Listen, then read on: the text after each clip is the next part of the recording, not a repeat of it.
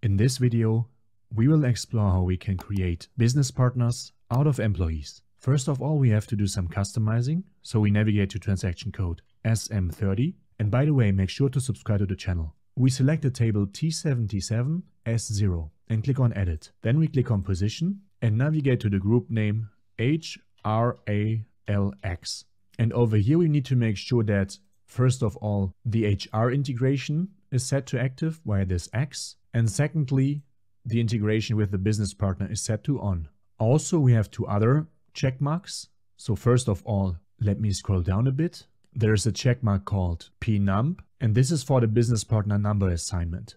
So this here determines in what kind of number range our business partner is created out of the employee. Currently it's set to 1. 1 means that the business partner will receive a number automatically.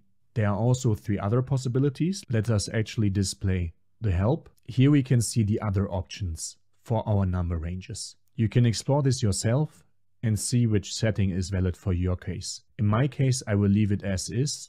So meaning that a business partner will be created with an internal number range automatically. And last but not least, let me scroll down a bit more. Here I will set the subgroup to 01, but this, as you can see from the help again, this really depends on what we set in the switch for the number range. So in my case, the switch was set to 1. So this is why I'm permitted here to include the 01 as well. Let's save. Now we need to make sure that our business partner role for the employee is stored in the system. So we navigate to slash n spro, SAP reference img, cross application components. We scroll down to the business partner business partner basic settings, business partner roles, define BP roles. And over here we need to make sure that the role BUP003 is existing. Double click on this one and make sure that the hide button is deselected. So later on, our business partner will be created with this particular role over here. Next off, we navigate back and back again we go to address determination, define address types, and here we need to make sure that the address type HCM001 for the employee private address is existing. If it's not existing, you can create it via new entries. Let's go back, close this view again, and then we go further down to identification number, define identification types. Click on this one, scroll down a bit until you see HCM001 028, 030 and 031. Make sure that those four are existing.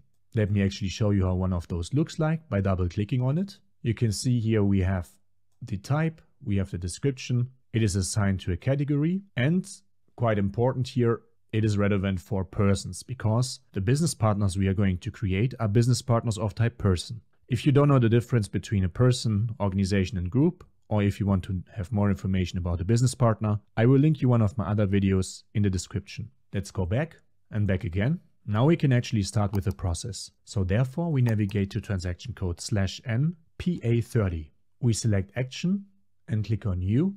And then we include here some dummy information for our employee. Let me just fast forward here. We click on save. We need to include more information. Let me just fast forward a bit. You would fill the information accordingly for your case. And then once we fill some of the information, we scroll down and over here we select the info type 0105 for communication and the subtype 0001. Then select create again, insert a start date, and then the system ID is your user, so your system user with whom you log on to the SAP system or any other user. Those users are stored for instance in SU01 transaction. Then save and now what is left is to create our business partner out of the employee that we just created. Therefore, we navigate to transaction code slash n SA38 and we insert the following program. As you can see over here, you can pause the video if you like. Then we click on execute. We need to insert a personal number. The personal number, let me just show it to you again under slash OPA30. The personal number we created was 63.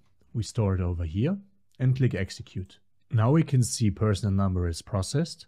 We can also see the protocol via transaction code slash n SLG1. Here we could inspect the log and search for problems that might have occurred. But for now, let's now go to transaction code slash n SU01, insert our user for whom we created our employee data via transaction code PA30 before, click on inspect, and over here we can see our user is already linked to the business partner with the number you can see over here. So we can actually copy this number, then go to slash NBP, go to find select person, and then the business partner number.